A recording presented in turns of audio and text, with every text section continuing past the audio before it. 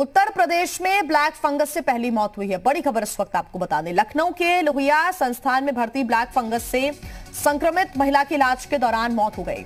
लोहिया संस्थान के प्रवक्ता डॉक्टर श्रीकेश सिंह ने इस बात की पुष्टि की है कि महिला की मौत ब्लैक फंगस की ही वजह से हुई है।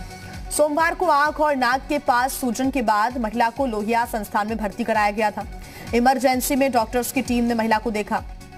डॉक्टर्स ने लक्षणों के आधार पर ब्लैक फंगस की आशंका ज़ाहिर की। सिटी स्कैन जाँच कराने का फैसला किया और सिटी स्कैन की जो जाँच रिपोर्ट सामने आई, उसमें ब्लैक फंगस नज़र आया।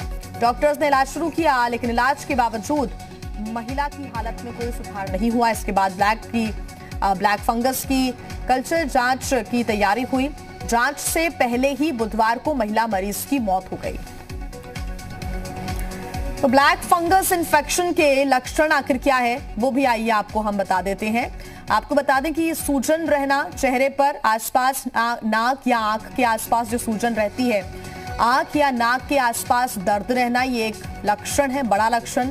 आँख के पास लाल होना या फिर आँख लाल होना, चेहरे के एक हिस्से का सुन्न होना, बुखार, सिरदर्द, खांसी, ये भी इसके लक्षण है। खून की उल्टियाँ सांस लेने में तकलीफ़ होना, ये भी ब्लैक फंगस का इन्फेक्शन का जो लक्षण है वो है। बदली हुई मानसिक स्थितियाँ, कैसे बचें, घर पर इलाज के दौरान स्टीरोइड्स का इस्तेमाल ना करें। डॉक्टर की सलाह के बाद ही दवाइयाँ लें। ब्लड शुगर बढ़ा हो तो डॉक्टर की सलाह पर आप दवाइयाँ लेते रहें, ठीक इलाज लें। कोरोना से उभरे मरीज़ दो से तीन हफ़्ते सावधानी बरतें। कोरोना से जो मरीज़ उभरे हैं, वो अच्छे से भाप लेते रहे। नाक को नमक के पानी से धोएँ। गंदा मास्क बिल्कुल ना लगाएँ। स्वच्छता का ध्यान रखें। और इसी पर ज़्यादा जानकारी के साथ जी मीडिया संवाददाता लखनऊ से शुभम हमारे साथ जुड़ गए हैं। शुभम, ये चिंता बढ़ा देने वाली बात है कि एक महिला की ब्लैक फंगस इन्फेक्शन की वजह से मौत हो गई। उत्तर प्रदेश में ये पहली मौत है। म्यूकॉर माइकोसिस का पहला मामला। जी बिल्कुल ये आपको बता दें कि ये ब्लैक फंगस से राजधानी लखनऊ में पहली मौत लोहिया संस्थान में हो गई। ये हम्म। ये महिला मरीज़ बीते दिनों के में भर्ती थी। सिम्टम्स लगने के बाद इनको लोहिया संस्थान में भर्ती किया गया। यहाँ पे करीब ये सोमवार को आई थी जिसके बाद यहाँ पर डॉक्टर्स ने सिटी स्कैन किया। सिटी स्कैन में फंगस दिखा जिसमें जो है मालूम चला कि ये ब्लैक फंगस है जिसके बाद यहाँ पर महिला के उपचार शुरू हो गया। इलाज शुरू हो जाने के बाद करीब दो दिन तक महिला का इलाज हुआ लेकिन महिला को चिकित्सकों द्वारा नहीं बचाया जा सका। इसकी पुष्टि जब हमने क्लोजा संस्थान के प्रवक्ता डॉक्टर श्रीकेश सिंह से बातचीत करी तो उन्होंने फंगस होने की बात कही और बताया कि उचित उपचार दिया जा रहा था, लेकिन अभी तक मरीज़ पर काफ़ी देरी हो चुकी थी तो मरीज़ पर सभी जो चिकित्सा सेवाएँ थी, बेहतर प्रभाव नहीं डाल पाई, जिसके कारण मरीज़ को नहीं बचाया सका। आपको बता दें कि अब उत्तर प्रदेश में अब तक ब्लैक फंगस से तीन मौतें हो चुकी हैं, जिनमें से दो कानपुर में और एक ये राजधानी लखनऊ की पहली मौत है। इसके साथ साथ करीब उनतीस मामले प्रदेश भर में सामने आ चुके हैं, जिनमें झांसी और वाराणसी, गोरखपुर आदि ज़िले हैं, जहाँ पे मामले लगातार सामने आ रहे हैं। अब देखने वाली बात यह होगी कि ब्लैक फंगस जो कोरोना के बाद बताया जा रहा है, काफ़ी तेज़ी से मरीजों में सामने आ रहा है। इसके साथ साथ डायबिटीज़ और ये जो तमाम बीमारियाँ होती थी, ये पहले साल भर में या फिर बहुत अमूमन कम देखने को मिलती थी, लेकिन अब कोरोना के बाद को कोविड में ब्लैक फंगस लोगों पर अटैक कर रहा है जिसकी वजह से लगातार केसेस बढ़ते जा रहे हैं। डॉक्टरों की सलाह है कि ज़्यादा से ज़्यादा अपना ध्यान रखना है और पोस्ट कोविड में इसको लेकर के काफ़ी अलर्ट रहने की आवश्यकता है। जी। बिल्कुल शुभम और एक कयास और लगा सकते हैं कि महिला को काफ़ी दिन हो गए होंगे इस इन्फेक्शन से जूझते हुए।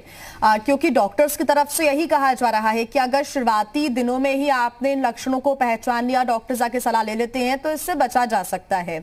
आ, लेकिन जब बहुत ज़्यादा सूजन हुई बहुत ज़्यादा दर्द हुआ होगा और शायद काफ़ी दिन बीत गए होंगे। इसके बाद जब इलाज कराया गया तो कोई फ़ायदा होता हुआ नज़र नहीं आया। इसी वजह से ये पहली मौत हुई है, ये कह सकते हैं। जी, बिल्कुल। देखिए, जब कोविड का इलाज हो रहा होता है, उस दौरान स्टेरॉइड आदि का उपयोग होता है। ऐसे में काफ़ी ज़्यादा चांसेस ये हो जाते हैं कि जब इन स्टेरॉइड हम्म। वगैरह का उपयोग ज़्यादा शरीर में हो जाता है इम्यूनिटी कमज़ोर होती तो उस दौरान ये फंगस पनप जाता है जिसकी वजह से लगातार ये बड़ा रूप ले लेता है जिसका असर सबसे ज़्यादा आँखों में जलन और इन तमाम जगहों पर आधे सर में दर्द होने का भी शुरू हो जाता है आँखों में लाल लाल रंग हो जाते हैं जिसके हम्म। कारण ये प्रमुख लक्षण है जैसे ही ये लक्षण दिखे तो उसके बाद तुरंत चिकित्सीय सलाह ले लेनी चाहिए और स्टेरॉइड आदि का उपयोग बंद कर देना चाहिए हम्म। कहीं ना कहीं इस मामले में कहा जा सकता है कि ये पहला मामला था हो सकता है कि ये मरीजों के लिए भी नई चीज़ है उतना क्योंकि अभी तक ये प्रचलित बीमारी नहीं थी लेकिन अब ये नया मामला सामने आने के बाद ज़रूर अब धीरे धीरे लोगों में इसके प्रति जागरूकता होगी आने वाले दिनों में देखा जा सकता है कि इस बीमारी के जो लक्षण है उसको जानते हुए लोग पहले से अलर्ट रहेंगे इसकी वजह से इस तरह की घटनाएँ या फिर इस तरह की मौतों पर लगाम लग पाएगी। जी। बिल्कुल और जो कोविड से उभरे हैं अगर उभरने के बाद ठीक होने के बाद उनको ये लक्षण दिख रहे हैं सरदर्द या हल्की खांसी या फिर जुकाम है तो वो डॉक्टर से सलाह ज़रूर लें।